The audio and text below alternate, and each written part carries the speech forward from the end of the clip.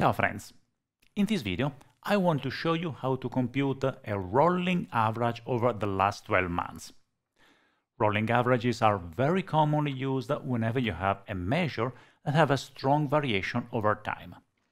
If you plot this measure on a chart, then you will see hikes and lows in the value in the measure and it is hard to understand the overall trend of the measure by replacing uh, the measure with uh, its rolling average, let's say over the last year, you obtain a much smoother line that makes it easier to understand the overall, the overall trend of the measure. As a bonus, before the end of the video, we will also put the same calculation inside a calculation group in order to make it easy for users to create any kind of average or any kind of measure. Let's get started. First, we need to understand uh, the calculation we want to obtain. And to show you that, I created this chart. Right now, this chart is just showing the value of the sales amount by month. And you see that it changes uh, quite hardly. So the, I have a peak here, I have a drop here, I have another peak here, and it is hard to understand the overall trend. But I can add to this chart not only the value, but also the moving average over the last 12 months. And you see that now with the darker line, it is much easier to follow the trend of the sales amount because uh, I do no longer feel the drops and the peaks, but I show a line that goes much smoother. Now, we will compute first uh, the moving average, and then we will also create a calculation group to compute the moving average we will be able to build different moving averages and apply them to different values. Right now, this report is computing the moving average of the margin, but I can just replace the margin and put the sales amount, and I will have the, moving, the different moving averages for the sales amount. Now, I could just show you the code and comment it a bit, but I know how I like to do my videos. I prefer to start with a model that does not contain the solution and then we build the solution step by step together. Let's get started. I need to get rid of this and start with a model that does not contain the solution yet. We need to solve two problems. First, we need to compute the average, and then we need to make it move over time. First, we start by computing an average.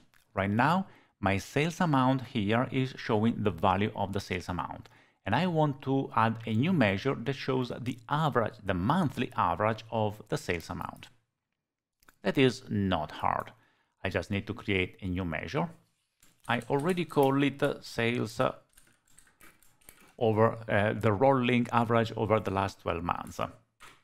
And uh, in order to compute an average, I can simply iterate over the months. So I use values of date, uh, calendar, year, month, number, calendar, year, month, number, and I average the sales amount.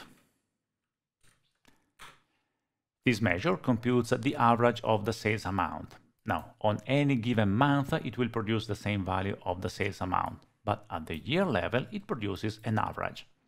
You see that month by month, the values are identical, but at the year level, sales amount shows 11 million, that is the sum of all the sales, whereas uh, the my measure right now shows the average. The thing is, uh, right now the average is being computed only at the year level. I want a similar calculation to happen for every month. Now, if you focus on one month, average computes the same value as the sales amount, because there is only one month selected. So we need to extend the filter context of every month, so to include a moving average over the last 12 months. There is a specific function that uh, let me extend the filter context to include uh, multiple to include a longer period, which is dates in period. Dates in period lets you returns a set of dates in a given period and you need to specify the period. In order to specify the period, you need a reference date, so the starting point of the period, and then the duration of uh, the period. As a starting point, we will use the end of the current period. So whenever a month is selected, we use as the reference date the last date in the current period. And then we extend, starting from the last date, we go back 12 months, 3 months, 6 months, whatever period we want. And to define the period, we need two values, the length of the period and the unit of measure, because we can extend the period of one month, three days, one quarter, so it's always a number and its unit of measure. Let's do that. We have our sales rolling total and uh, we want to use uh, dates in period. In order to use dates in period, we need the reference date. So because we need to debug the measure, let me start using variables. Uh, this will be the result and then I need to return the result. Right now I just use a variable in order to be able to add the further values. And let's start with the reference date. As I said, the reference date is the last visible date. So let's use a last uh, selected date, which is just the maximum of the date column. and let me return the last selected data so we see the actual result. Last selected date in January is the end of January, in March is the end of March, in September is the end of September. So right now uh, my last selected date is always the last date in the month.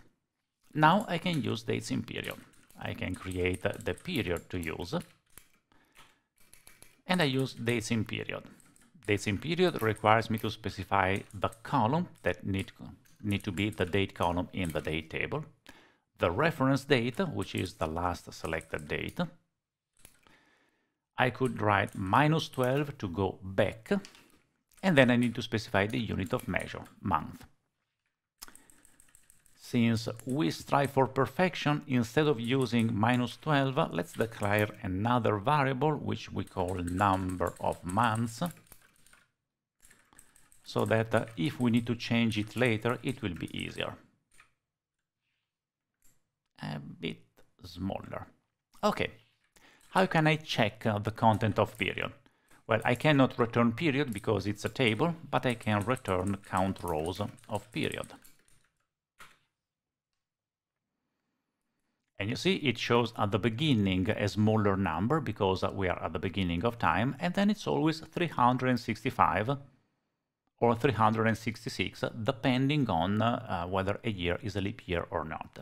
So my dates in period contains the dates in the period that I'm interested into.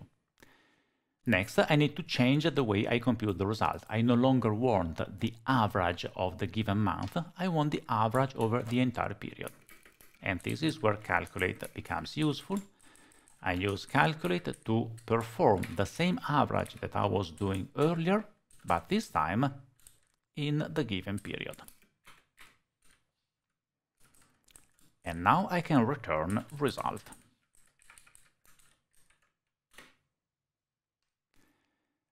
I changed the formatting, so I need to restore that to decimal places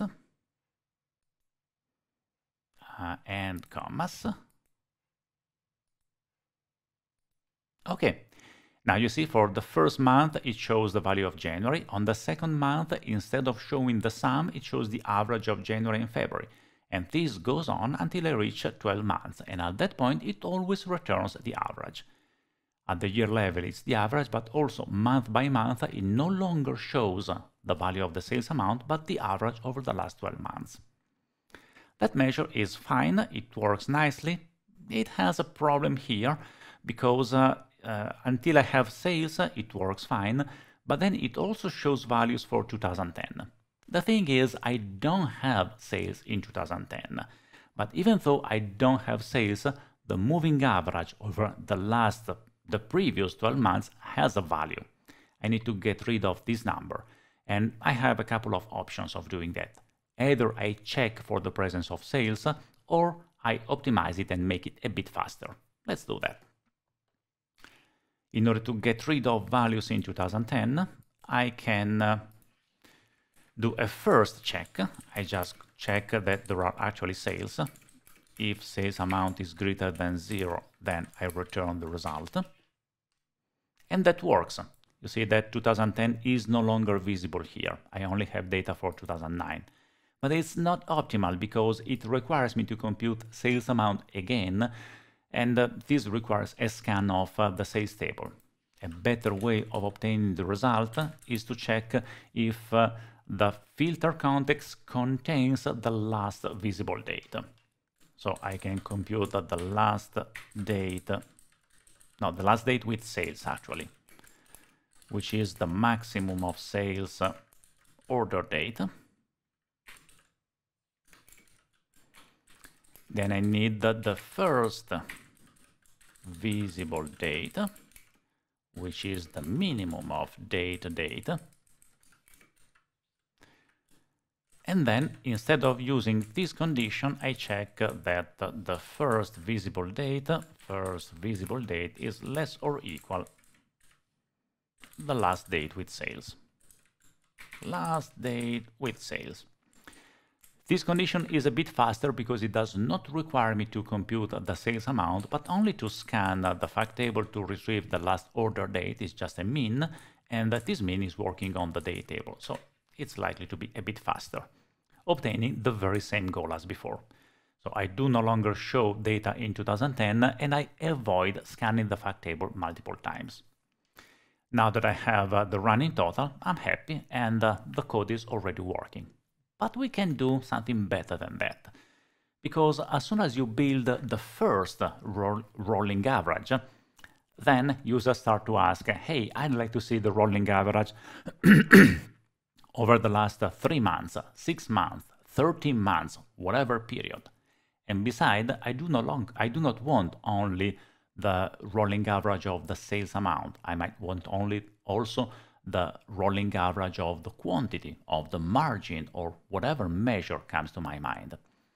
To do that, the best option is to create a calculation group that applies the same modification, so the same average over a period, to whatever measure has been created in the report. Let's do that with a calculation group. If we want to create calculation groups, we cannot do that from inside Power BI. We need to launch Tabular Editor.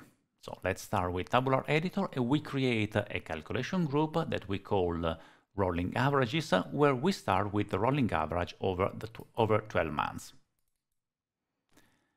So let's create a new calculation group that we call rolling average that contains a column and that we call rolling average. And then we create the first calculation item that we call uh, rolling average 12 months. The code is the same as my measure. So I go to sales, take the code of the measure. Let me increase the font and copy it here. The only change that I need to do is replace the sales amount with selected measure. Because being a calculation item, now it works with whatever measure. So I cannot use a sales amount, I need to use just selected measure. And while we are here, we create also the rolling average over three months. Rolling average three months. This is the same code as the 12 months, but I use 3 instead of using 12. And uh, this is the only change that I need to do to make that work. Now I can save that, go back to Power BI Desktop, refresh it, and I have my rolling average calculation group now. I can get rid of uh, the measure. I only have the sales amount. I use the rolling average, and you see that I have rolling average 12 months and 3 months the rolling average over three months has a stronger variation than the one the, over the 12 months. I still need to fix the sort order because I want the three months to be before the 12 months. Save it again, refresh again, and now data is sorted correctly. I have 3 months, 12 months, and everything is working fine. I can do the same on the chart. I have the sales amount by calendar year month, but now I can take my calculation group, rolling average, add it to the legend, and you see that in the same chart I have the rolling average over 3 months and the rolling average over 12 months. I am missing the sales amount, that is why in the calculation group it's always a good practice adding also a dummy calculation item that just returns the selected measure. I call it value, I put it first, save everything, refresh it. So now I have value, which is the first, then I have the rolling average over 3 months and the rolling average over 12 months. Then it's likely I want to apply a filter. I only want value and rolling average over 12 months and I obtain the same chart that we have seen at the beginning of the video. As you have seen, creating a rolling average is not complex. All you need to have is a basic understanding of calculate, filter context, and how to use dates in period to extend the filter context to the desired length. Then, by mixing this calculation with calculation groups, you really obtain powerful reports. If you are interested in this topic, go to sqlbi.com. There you will find the article, the link is below, and you can also download the file, play with it, and learn more about DAX. Enjoy DAX!